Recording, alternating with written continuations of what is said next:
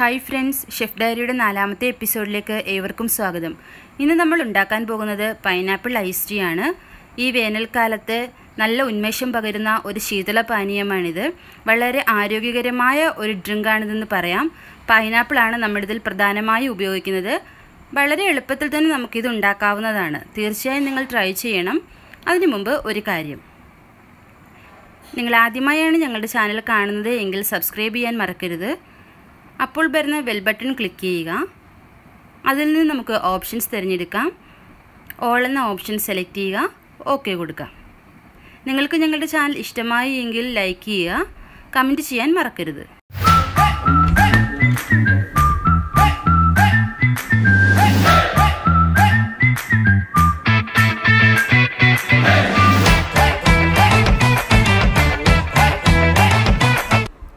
ഉണ്ടാക്കാൻ ആവശ്യമായ സാധനങ്ങളാണ് കാണുന്നത്. ഒരു പഴുത്ത പൈനാപ്പിൾ പകുതി മുറിച്ചെടുത്തിട്ടുണ്ട് പിന്നെ എടുത്തിരിക്കുന്നത് പുതിനയുടെ ഇലയാണ്. പിന്നെ ഒരു രണ്ട് ടേബിൾ സ്പൂൺ തേൻ. പിന്നെ കുറച്ച് ചായപ്പൊടി. ഇത്രയും സാധനങ്ങളാണ് നമുക്കിത് ഉണ്ടാക്കാൻ ആവശ്യമായിട്ടുള്ളത്. ആദ്യം ഉണ്ടാക്കുന്നത് നല്ല കടുപ്പത്തിലൊരു കട്ടൻ ചായയാണ്. നമുക്കത് ഉണ്ടാക്കാം. അതിനായി ഒരു പാത്രത്തിൽ വെള്ളം വെച്ച് നന്നായി തിളച്ചിട്ടുണ്ട്. രണ്ട് ഗ്ലാസ് വെള്ളമാണ് എടുത്തിരിക്കുന്നത്. ഇതിലേക്ക് നമുക്ക് ചായപ്പൊടി ഇടാം. നല്ല കളറുള്ള നല്ല സ്ട്രോങ് ആയൊരു കട്ടൻ ചായയാണ് നമുക്ക് വേണ്ടത്. അതിനാവശ്യമായ ചായപ്പൊടി നമുക്ക് ഇട്ട് കൊടുക്കാം. അപ്പം നന്നായി ചായ തിളയ്ക്കുന്നുണ്ട്. അതിലേക്ക് പുതിനയിലയാണ് ഇട്ടത്. ഇനി നമുക്ക് ഫ്ലെയിം ഓഫ് ചെയ്ത് ധരിച്ചെടുക്കാം നല്ലൊരു അരിപ്പ ഉപയോഗിച്ച് കട്ടൻ ചായ അരിച്ചെടുക്കുന്നുണ്ട്. നല്ല കളറുണ്ട് കണ്ടോ? കാണാൻ പറ്റുന്നുണ്ടല്ലോ? നല്ല കളറിൽ കിട്ടുന്നുണ്ട്. ഇതേപോലെ നല്ല കടുപ്പത്തിൽ വേണം നമ്മൾ ചായ ഉണ്ടാക്കി എടുക്കാനായിട്ട് അപ്പോൾ നല്ല കടുപ്പത്തിലുള്ള കട്ടൻ ചായ നമ്മൾ അരിച്ചെടുക്കുകയാണ്. ഈ കട്ടൻ ചായ ഉപയോഗിച്ചിട്ടാണ് നമ്മളിനി ഐസ് ക്യൂബ്സ് ഉണ്ടാക്കാൻ പോകുന്നത്. അതിന് വേണ്ടിയിട്ട് നന്നായി തണുത്തിട്ട് വേണം നമുക്ക് ഒരു മോൾഡ് ഐസ് ഉണ്ടാക്കുന്ന മോൾഡിലേക്ക് ഒഴിക്കാൻ വേണ്ടിയിട്ട്. ഇപ്പോൾ ചായ നന്നായി തണുത്ത് വന്നിട്ടുണ്ട്. ഇനി നമുക്കിത് ഐസ് ക്യൂബ്സിന്റെ മോൾഡിൽ ഒഴിച്ചിട്ട് ഫ്രീസറിലേക്ക് വയ്ക്കാം അതിന് വേണ്ടിയുള്ള മോൾഡ് എടുത്തിട്ടുണ്ട്. നമുക്കിനി ഇതിലേക്ക് ഒഴിച്ചു കൊടുക്കാം. ഇത് ഫ്രീസറിൽ വെച്ച് നന്നായിട്ട് തണുത്ത് നല്ലതായിട്ട് ഐസാകണം കട്ടൻ ചായയുടേതായത് കാരണം പെട്ടെന്ന് ഉരുകാനുള്ള ചാൻസ് ഉണ്ട്. അതുകൊണ്ട് നന്നായി ഐസായിട്ട് വേണം നമ്മളിത് എടുക്കാനായിട്ട്. നമ്മൾ ഉണ്ടാക്കിയ രണ്ട് ഗ്ലാസ് കട്ടൻ ചായയാണ് ഉണ്ടാക്കിയത്. അത് നമ്മളിതിലേക്ക് ഒഴിച്ചു കൊടുത്ത് ഫ്രീസറിലേക്ക് വയ്ക്കാൻ പോവുകയാണ്. നമുക്ക് പൈനാപ്പിൾ റെഡിയാക്കി എടുക്കാം അതിനുവേണ്ടി പൈനാപ്പിൾ ചെറുതായി അരിഞ്ഞെടുത്തിട്ടുണ്ട്. മിക്സി വേണമെങ്കിൽ ഉപയോഗിക്കാം. അല്ലെങ്കിൽ ജ്യൂസർ വേണമെങ്കിൽ ഉപയോഗിക്കാം. ഇവിടെ മിക്സിയാണ് എടുത്തിരിക്കുന്നത്.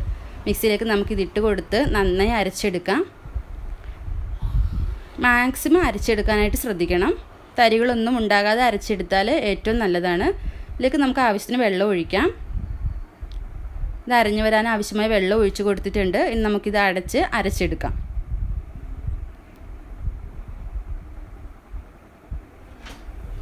ഇപ്പം നന്നായി അരച്ചെടുത്തിട്ടുണ്ട്. നല്ല കുഴമ്പ് പരുത്തി വന്നിട്ടുണ്ട്. ഇനി നമുക്കിത് അരിച്ചെടുക്കാം. അരിച്ചെടുത്തിട്ട് വീണ്ടും തരി ഉണ്ടെങ്കിൽ നമുക്ക് നല്ലൊരു തുണി ഉപയോഗിച്ച് ഒന്നുകൂടി അരിക്കാം. ഞങ്ങളിവിടെ നല്ലൊരു തുണി ഉപയോഗിച്ച് ഒന്നുകൂടി അരിച്ചെടുത്തിട്ടുണ്ട്. ഈ അരിപ്പയിലൂടെ അരിച്ചിട്ട് കുറച്ച് തരി തരി ഉണ്ടായിരുന്നു. അത് മാറാൻ വേണ്ടിയിട്ട് ഒരു തുണി ഉപയോഗിച്ച് നന്നായി അരിച്ചെടുത്തിട്ടുണ്ട്. ശരിക്കും ആ വെള്ളം പോലെ മാത്രം കിട്ടണം. നല്ല തെളിഞ്ഞ ജ്യൂസായി കിട്ടും. അതിവിടെ റെഡി ആയിട്ടുണ്ട്. അതിന് നമുക്ക് ഐസ് ക്യൂബ്സാണ് എടുത്തിരിക്കുന്നത്. ഇപ്പോൾ തന്നെ അത് മെൽറ്റാകാൻ തുടങ്ങി. കട്ടൻ ചായ ഉപയോഗിച്ചിട്ടുള്ള ഐസ് ക്യൂബ്സ് ആയതുകൊണ്ട് ഇത് പെട്ടെന്ന് ഇങ്ങനെ ഉരുകുന്നത്. ഇനി നമുക്കിത് ഉണ്ടാക്കാം. അതിനുവേണ്ടി ഒരു ഗ്ലാസ് എടുത്തിട്ടുണ്ട്. അതിലേക്ക് കട്ടൻ ചായയുടെ ഐസ് ഇട്ട് കൊടുക്കുകയാണ്. ഒരു മുക്കാൽ ഭാഗത്തോളം നമുക്കിത് ഗ്ലാസ്സിൽ നിറയ്ക്കാം. ഇപ്പോൾ മുക്കാൽ ഭാഗം നിറച്ചിട്ട് ജ്യൂസ് ഒഴിച്ചു കൊടുക്കുന്നുണ്ട്. നമ്മൾ ഒട്ടും പഞ്ചസാര ചേർക്കാതാണ് ഈ ജ്യൂസ് അടിച്ചെടുത്തിട്ടുള്ളത്. ആ ഗ്ലാസ് നിറച്ച് നമുക്ക് ഒഴിച്ചു കൊടുക്കാം. നല്ലൊരു കളർ കോമ്പിനേഷനാണിത് ഇനി നമുക്ക് മധുരത്തിനായിട്ട് നമ്മൾ തേനാണ് ചേർത്ത് കൊടുക്കുന്നത്. നമ്മുടെ അളവനുസരിച്ച് നമുക്ക് ചേർക്കാം. നമുക്ക് എത്രത്തോളം മധുരം വേണം എന്നത് അനുസരിച്ചിട്ട് നമുക്കിത് ചേർത്ത് കൊടുക്കാം. പഞ്ചസാരയൊന്നും ചേർക്കാത്ത കാരണം നമ്മുടെ ആരോഗ്യത്തിന് ഇത് വളരെ നല്ലതാണ്. ഇത് നമ്മുടെ പൈനാപ്പിൾ ഐസ് ടീ ഇവിടെ റെഡി ആയിട്ടുണ്ട്. തീർച്ചയായും നിങ്ങളിത് ട്രൈ ചെയ്ത് നോക്കണം. നിങ്ങളുടെ അഭിപ്രായം ഞങ്ങളെ അറിയിക്കണം.